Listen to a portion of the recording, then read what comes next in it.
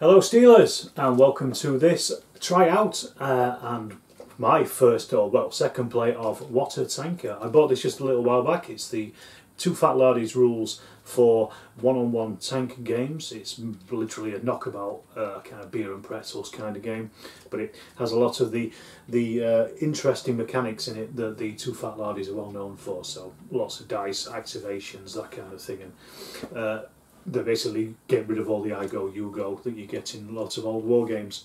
It's been out since uh, 2018. I think it's quite a popular game.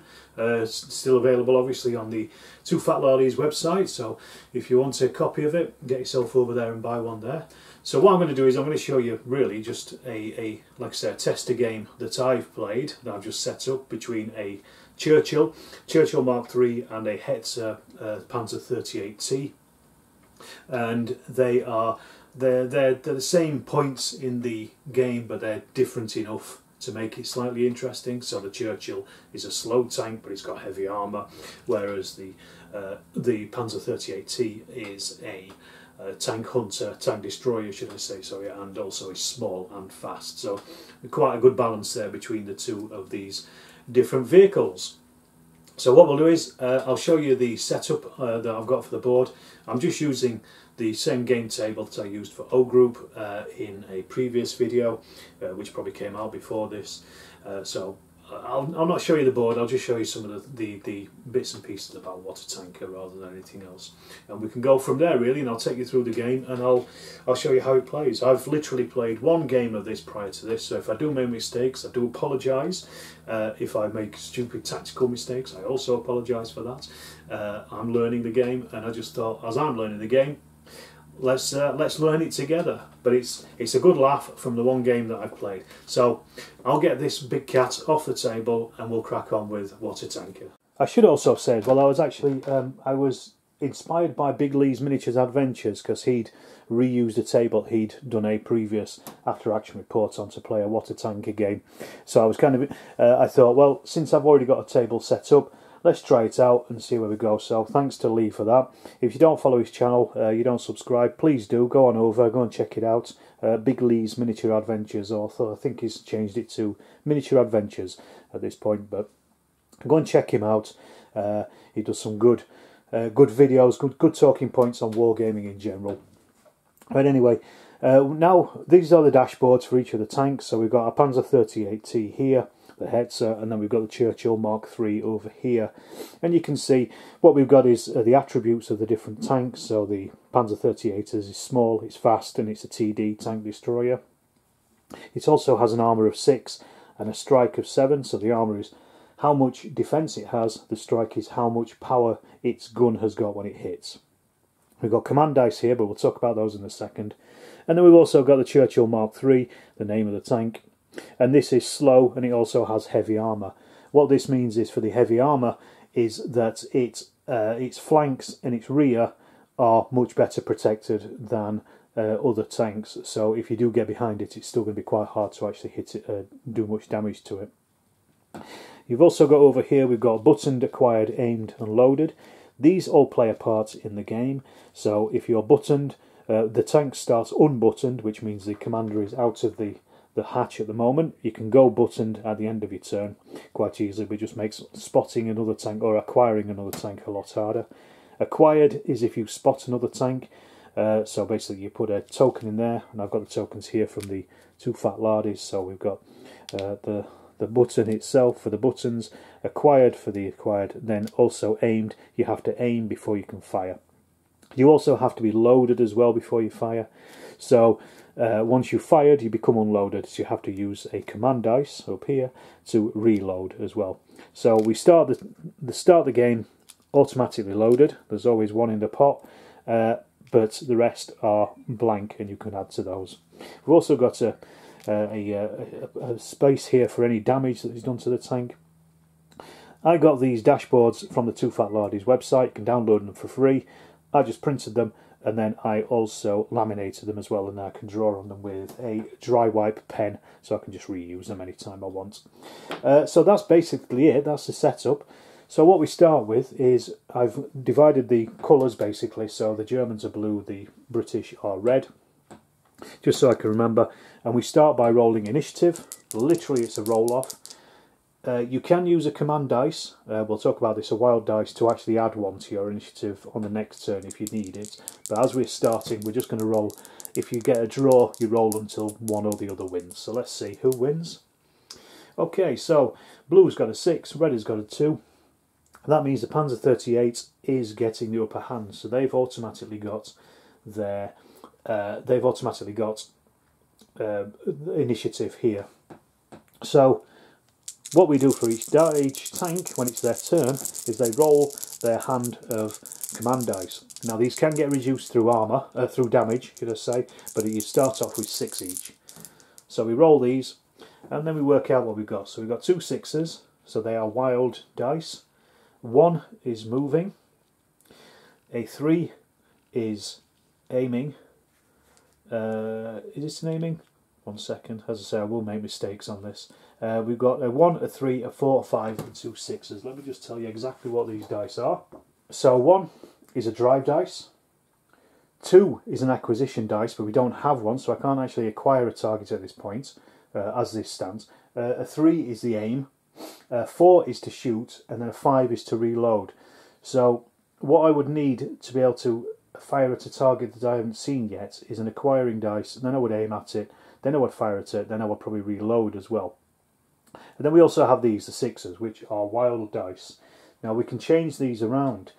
Uh, I'm also a tank destroyer. The Panzer 38T is a tank destroyer and it is also fast. So a tank destroyer can change any any of these dice into an aim dice if it likes. However, there's not much point because we're miles away from the uh, from the, the the, the the targets at this point. Uh, but it can also change because it's fast, it can also change any dice into a 1 as well, so it can be a fast dice.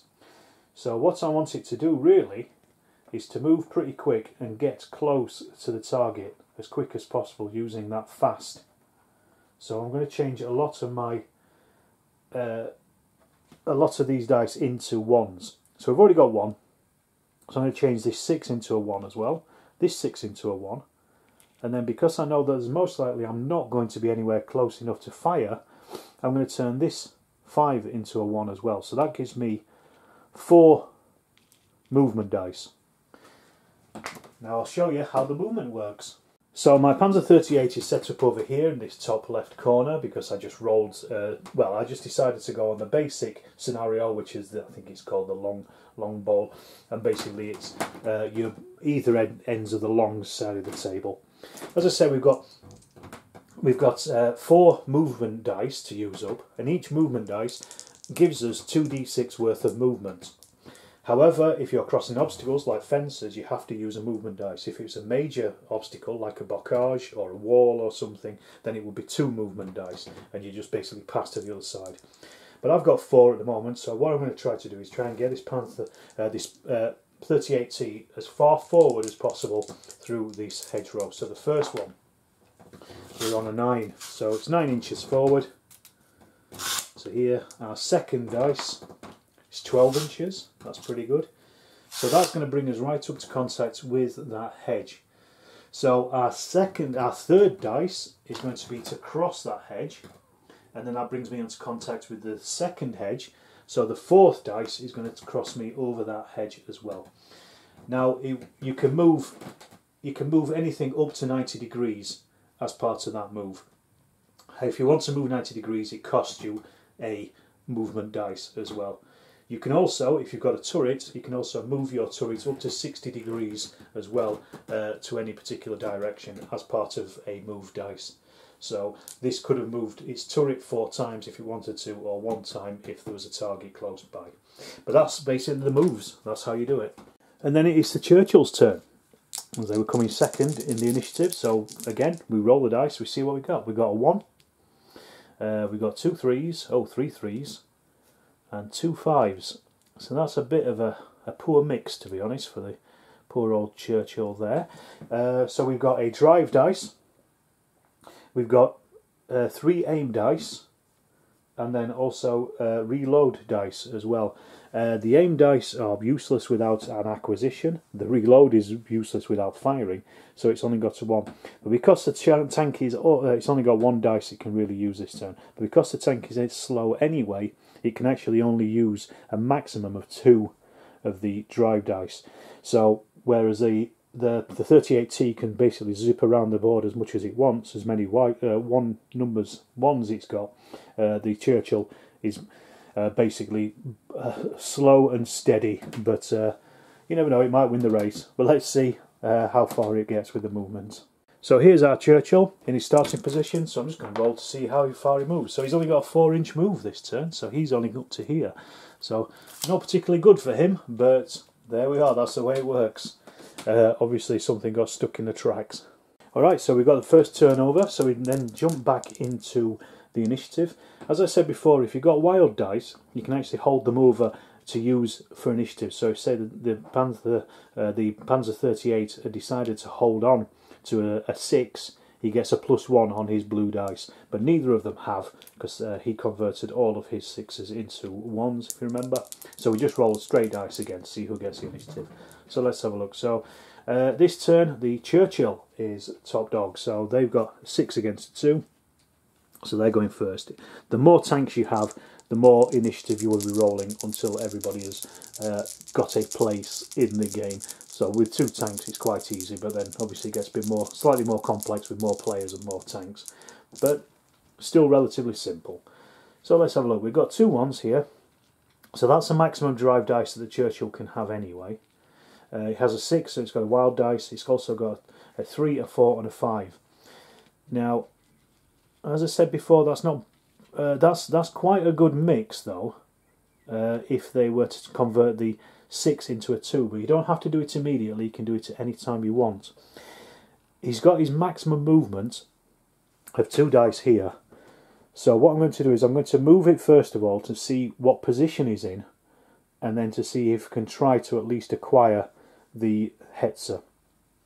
As I said as well, well, one thing I forgot to mention is that they are both unbuttoned, which gives them 180 degree uh, uh, uh, spotting.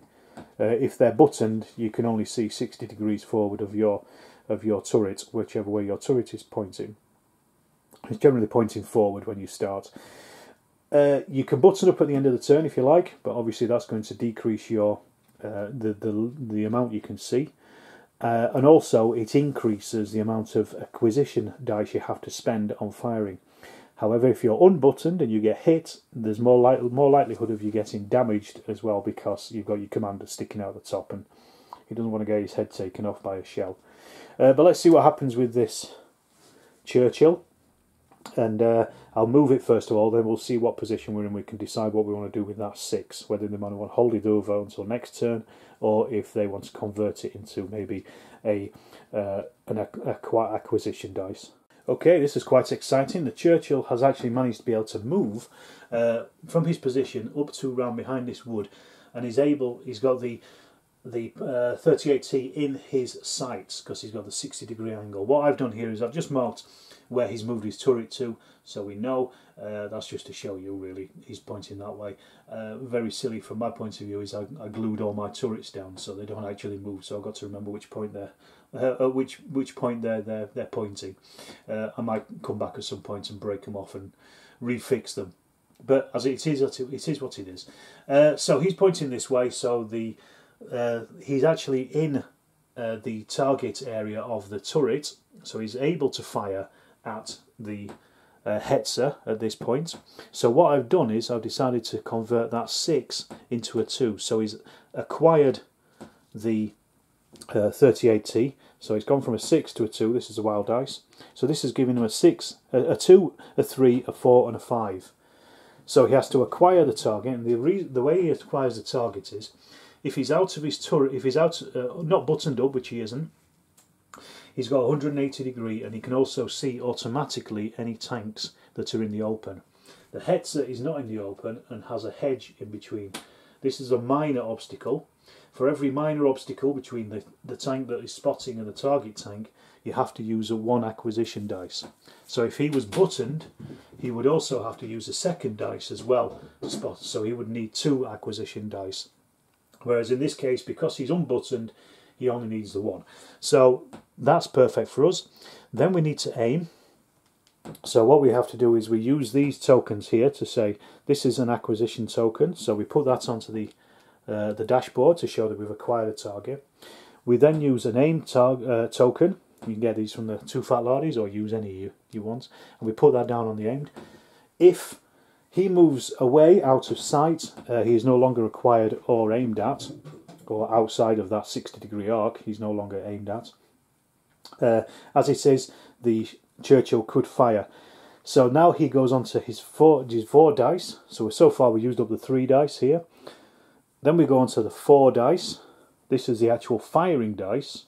And then thankfully for the Churchill, he's also got that five dice. So not only can he fire, but he can then reload. So he can be ready in the next turn to fire immediately as well, should he need to. Unless the uh, the Panzer 38 obviously has a has a vote in this. So what we need to do first of all, we need to see if we've actually hit the target.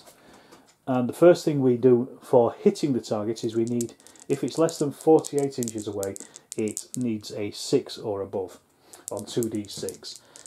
He's small, so that makes it one harder, so it's actually 7 or above to hit on 2d6. So that's a relatively easy number to acquire. So we'll just roll to see if it... Now I've said that, you'll most likely miss, but let's have a look. Ah, double one. Perfect. A double one means that whatever you are doing, something has gone catastrophically wrong and your turn ends immediately. So that's it. He's basically done. Uh, he is unloaded, and that's as far as the Churchill can do. So he's basically fired, but something has gone wrong, and he's stuck at that at that position. Just to show you the Churchill's dashboard at this point, he's got his two movement dice then he's uh, converted into an aim dice, a acquire dice, sorry. Then he used his aim dice. Then he fired. He fired and he rolled those double ones, so that ended his turn. That means he's unloaded. So we've taken the loaded marker off. Uh, he couldn't play his five dice because he couldn't reload because his turn ended, but he still acquired and he also aimed at the Panzer 38 as well. So we keep those in for now until the Panzer 38 decides to move. And as it's the Panzer 38's turn, I think he probably will decide to move. So let's just see what he gets for his command. so we've got two wild dice. So that's good for him. He's got a 1. Uh, he's got a 3 and two fours. So with this we have, again just to go through it, we've got a drive dice. Then we've also got an aim dice. Uh, we've got two fours, which are shoots, and then two sixes. So he is also unbuttoned as well. So he's he could easily acquire that Churchill if he were to move forward uh, beyond uh, up to that hedge. He would then be able to acquire that Churchill quite easily because he wouldn't need that dice. Uh, but he wouldn't. He could, as a tank destroyer, he can swap any any uh, of these into aim dice. But interestingly, he has already got an aim dice. So if he moved forward to the edge of this hedge, uh, he'd be able to see over it because he wouldn't be blocking him. So he would acquire the Churchill straight away. He would then be able to uh, aim, so that would then stick down the aim token uh, and the acquisition token as well. And he's got two fires, so he could swap these sixes into reload. So he could fire, reload, fire, reload in one turn. So I think that is probably what he's going to do. So well, we'll we'll see if we can get to the edge of that hedge first of all with these one dice. So let's try that. So potentially the the 38T, as I say, wants to get to this hedge so it can fire at the Churchill uh, by acquiring it automatically because he's in the open, he's unbuttoned. So what I'm going to do is I'm going to try to move it if I can't get it to the edge of the hedge, then I can swap one of the sixes into a two to acquire the Churchill anyway, uh, because I need one dice at least, and I can also swap the other six into maybe a reload, so I can still probably fire twice. So let's just see what happens. A four, I don't think he's going to make it. No, he doesn't. Well, actually I've got a choice. I can either move up to the hedge with the dice or I can just turn it into an... I'm going to stick where I am and I'm going to turn this 6 into a 2 to acquire the uh, to acquire the Churchill. So we've acquired it. So as I say, it's not buttoned. So what I've done here is uh, I prefer to stay in the cover and make it harder for the Churchill to fire at the 38T than the other way around really. Let me just swap this camera angle just so uh, the sun is not shining so badly on things. Alright, we're slightly better there. So, we're then spending this 3 from our dice pool and that is going to go onto an aimed token. So he's now not only acquired, but he's also aimed at the Churchill, and he still has that wild dice as well. So he can turn that into a five uh, and use that to reload and fire again. Because once you're aimed and acquired, you can fire as many times as you like, uh, but you just have to do those two first of all. So same again. He's less than 48 inches away, so we need a 7 or above. Uh, it's just a straight 7 or above because there's no uh, categories on the on the uh, Churchill. So let's see. 10, so he's hit with that first dice, so he's now unloaded and has hit with that first strike. So what we do is we take our strike dice and they roll however many their strike dice is. So 7 for the Panzer 38T, 7 dice. And we are firing against the, the Churchill side armour. However, the Churchill is a heavy tank so its side armour is basically the same as its front armour. So what we need is fives and sixes uh, to, to do any damage. A five here is an ordinary hit, a six is a critical hit. So let's just roll these and see what we get. Uh, so we've got one, two fives, but no sixes. So that's two ordinary hits. Everything else, one to four, is a no effect. So now we take the armour of the Churchill and it has an armour of 9 so we convert that into 9 dice and then that uh, we roll these and they score 5s and 6s are saves so they're just basic saves so let's have a look we've got that was just uh, that was cocked so we've got one two three three fives no sixes and the rest are one to fours so we've actually got more saves than hits and if the number of saves exceeds the number of hits, then the shot has no effects, bouncing off harmlessly. So the first shot was ineffectual. However, we've got that 6 still. So we use that, turn that into a 5. We reload, the Panzer, Panzer reloads, and then we have one final 4, so we fire again. So we are now again unloaded, but he's firing again with a strike of 7 there's our dice, so we need sixes and fives, fives and sixes. So there's one, there's another one. So we've got a six is a critical, a five is an ordinary hit. And let's see how many the Sherman, the, not the Sherman, the Churchill saves against. Fives and sixes again, so it saves against one. So this is slightly different now. So the number of hits exceeds the number of saves by one or two, which it does, it exceeds it by one. So it's exceeded by one or two, actually exceeded by one, but we've got the same amount of critical and ordinary hits. So it's actually just a temporary damage.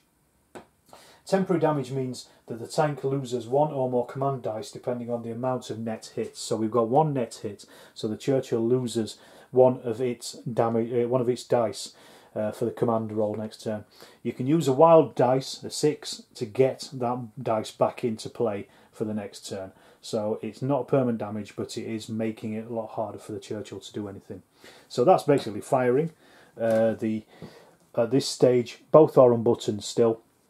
Uh, they both acquired each other. They're both aimed, so if neither of them move from where they are, uh, then or out of sight, then they will be able to fire again. So we now jump back to the initiative and see what happens there. So this is current state of play. We've got uh, the Panzer 38T is currently still unbuttoned. He's acquired the target. He is also aimed. However, he's unloaded at this point. The Churchill is the same. He's unbuttoned, he's acquired and aimed. Oh, one thing I think I forgot. I should have added one dice for the damage for the strike for for uh, hitting the Churchill unbuttoned, but never mind about that. As did say, we'll make mistakes. Uh, so, but because he was damaged, he's lost one dice. So this is put down here and kept down here until he can re-roll, uh, get a six and get it out. So let's just see who gets the initiative for the next turn. Uh, it's the Churchill. So let's have a look at what they get for their command dice. He's looking for a six to be able to draw that dice back. So he does have a six. He's also got a one. Oh, he's got two sixes and two fours.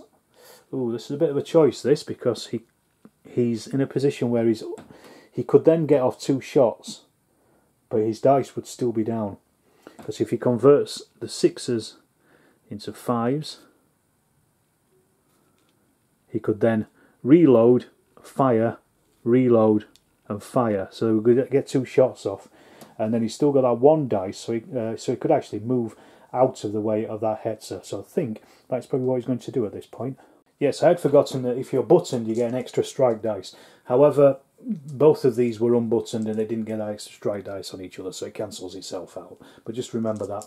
These are currently unbuttoned still, so the Churchill is going to fire, as we said. Well, he's going to load first of all, so that's one dice, that's five. Then he's firing, so he needs, he's firing at a small target, uh, so it's a minus one, so he needs a seven, so he needs an eight or above to hit. No, sorry, he needs a 7 or above because he needs a 6 to start and then a, uh, a 7 at a small target. So he's actually hit him. He's hit the Panzer 38T. Uh, his strike is only 5. This is a low powered gun. So let's have a look. We've got a 6, so that's one critical. And the armour, when you guess that extra strike dice, I did forget. Let's roll that. So double six, So there you go. He's got two criticals. The armour on the Panzer 38T is 6, so he's rolling 5s and 6s to save against it. He's saved 3. Uh, it doesn't matter that they got double six, so that's taken uh, 3 of theirs away, so that first shot has bounced off. So then he is going to, a uh, well, he's, he's unloaded, so he now he's loading with that, converting that 6 into a 5, and then he's going to fire again with his final, so he's uh, his final shot, so he's now again unloaded. So he's firing six. Oh, sorry, see, I'm going to see, see if he hits him first, haven't I? Seven or above. A four is a miss. So currently he's got uh, the only thing he wants to do now is reverse, and he can only reverse d6 inches. So he's going to reverse as far back as he can behind these trees. So a three. This takes him to here his turret is still pointing that way. However, he is now out of line of sight, so he's not only aimed has gone and he's acquired, as has the 38T.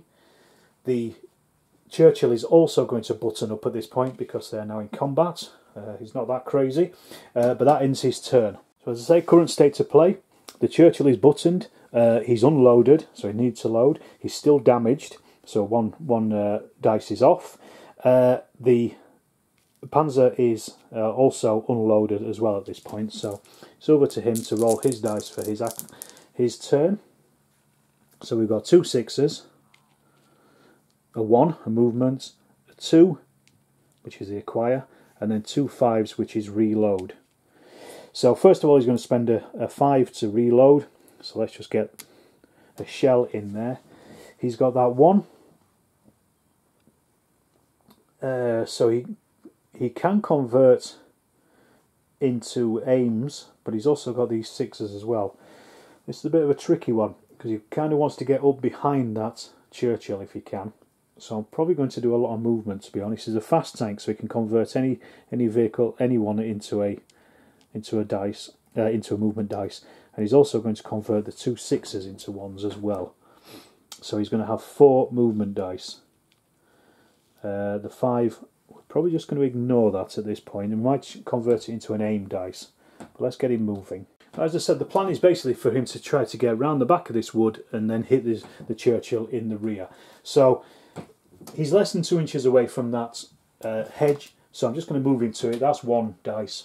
He's going to cross the hedge because at least he can roll on 2d6s too. He's going to cross the hedge, so that's his second dice. So he's now like this and then I'm going to try to get him to come round the back of here. So we've got a 9, so that's got him to there, and then we've got another 9, so he can actually get to here. I'm putting a little bit further the back like that, but he's now pointing right at that juicy target of the rear of the Churchill. He's he's still unbuttoned, so he's automatically acquired the Churchill, and he can convert one of his dice, any of his dice, because he's a tank destroyer, into a 3, which is an aim. So he's acquired, and now he's going to aim at the Churchill. So he's acquired and aimed and loaded and ready to fire. So uh, a bit of a tricky point this for the Churchill, but let's see who gets the initiative next turn. Uh, the Panzer 38 is hoping to, uh, as is the Churchill. But let's have a look. So as I said, this is a, this is how it looks at the moment. The Churchill is buttoned. Uh, the Panzer isn't buttoned uh, because I forgot to do it, so I'm going to uh, not allow myself to do it. However, he has acquired the Churchill. He is aimed at him, and he's also loaded as well. He's got one in in the in the round ready. Uh, the Churchill is still damaged with that damaged dice. If all of your damage, if all of your dice are reduced and and taken to be damaged, then it's game over anyway. You will abandon the tank. Uh, so let's see who gets the initiative. Neither of them are adding that wild dice for the extra plus one, so it's just a straight roll. Uh, two against four, Churchill gets the initiative. So let's see what he does with that. Uh, let's have a look. We've got a one, which is a move. Two, three twos, which is an acquisition, and then a three, which is an aim. Oh, uh, not brilliant, but probably be able to do something with this, I think. Right, the Churchill is going to move his use his one to move 90 degrees. He's keeping his turret pointing this way. I'll take that off because we know which way he's pointing. Uh, it's pointing towards the Hetzer at this point. So then he's able to, he's buttoned, so he needs to spend an acquisition dice anyway to actually acquire the target. So he has also acquired the target. And then he is also aiming with that three as well. So he's got another token there. But he's currently unloaded and is in a little bit of a pickle, I think, at this point. It depends on what the Hetzer gets for his, his roll. Right, so Mr. Hetzer, let's just see what we get. He is literally uh, locked and loaded and ready to go. He needs as many fours and fives as he can get out of this.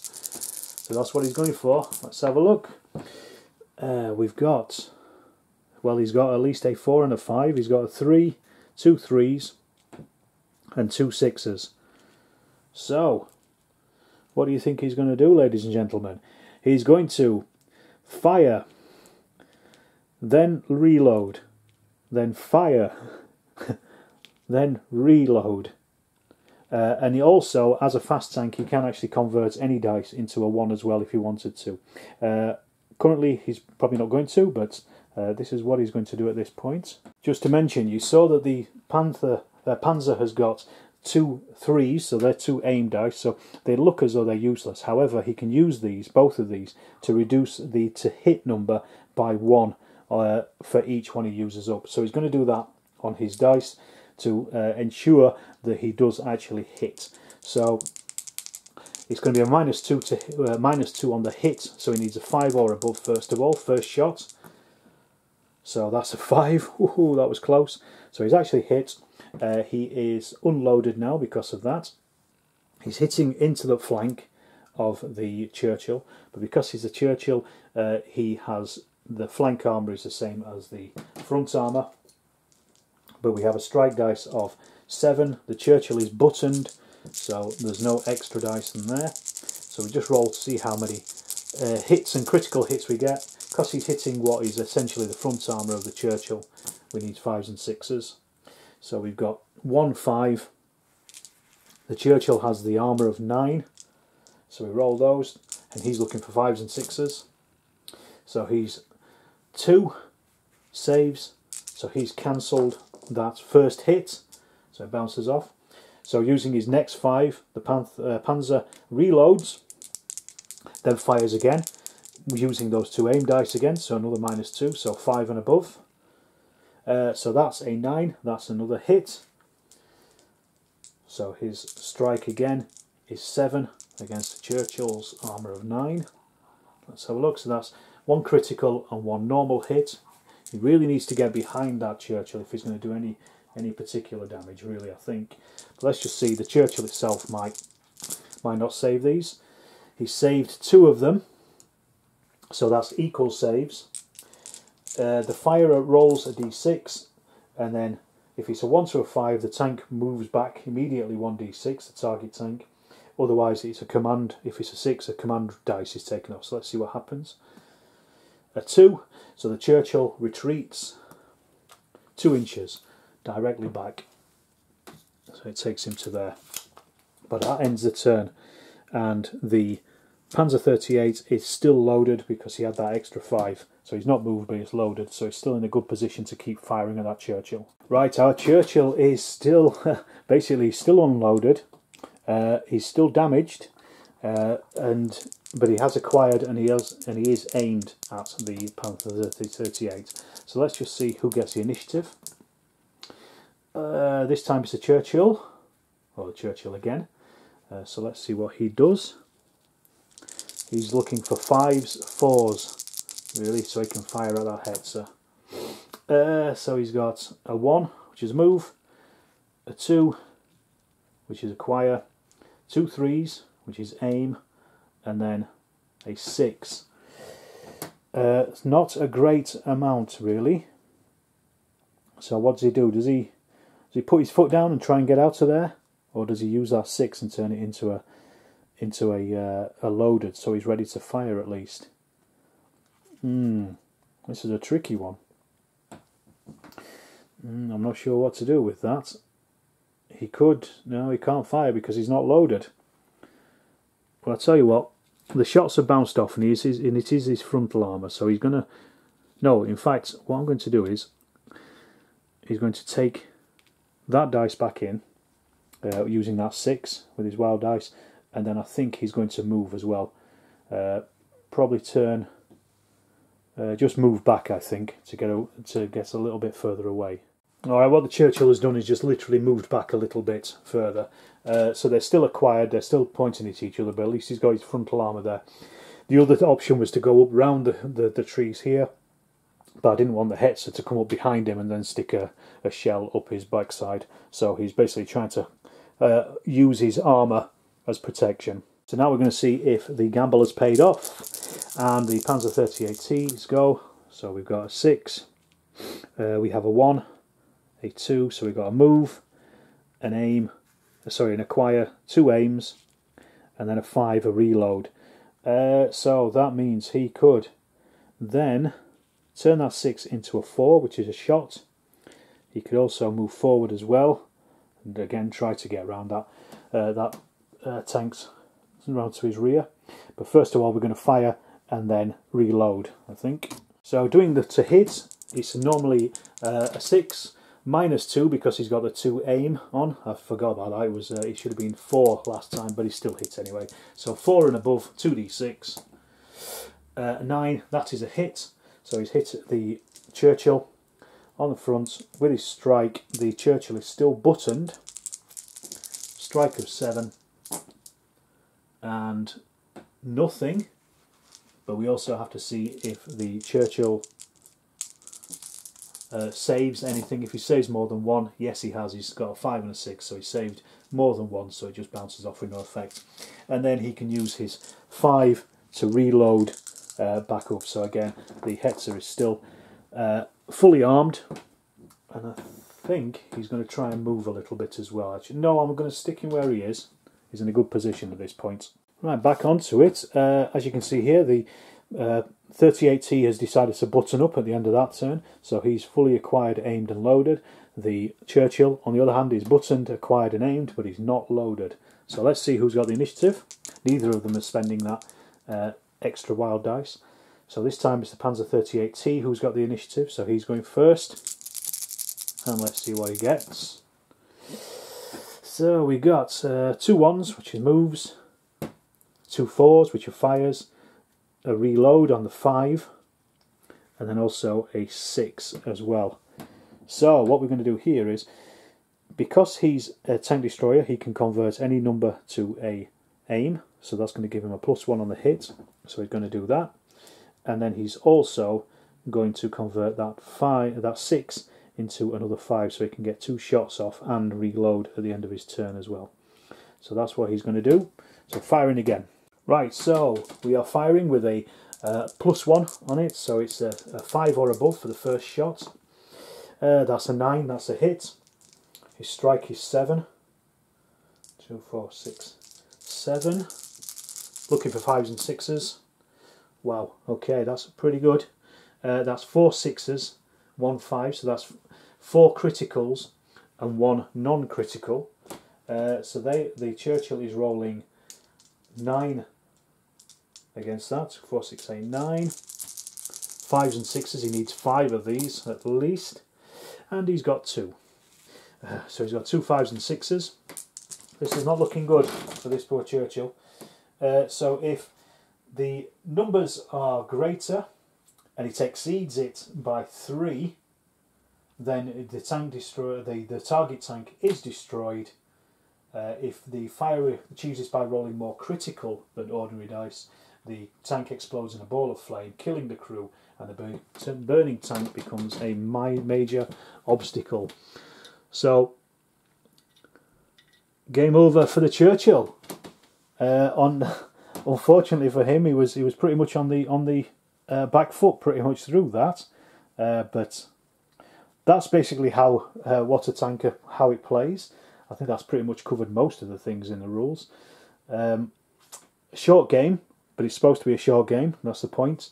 Uh, a good fun beer and pretzels kind of game, just to play either after a big game or even uh, you can play the campaign version where you can increase the tanks that you're using as the game goes on. I just wanted to set something up just to really to, to de demonstrate it. As I say, I've most likely made a lot of mistakes. I've probably most likely made a lot of tactical mistakes as well uh, with seasoned players uh, probably screaming at me to get into the woods and things. But this is just really, like I say, to show you how the game works. Uh, if you've enjoyed it, please do subscribe to the channel. I will at some point probably do more uh, water tanker games, uh, but there's also plenty of other after action reports of historical war games. Please do check those out. Give me a subscribe, give me a like, drop me a comment, and uh, thanks for watching as always.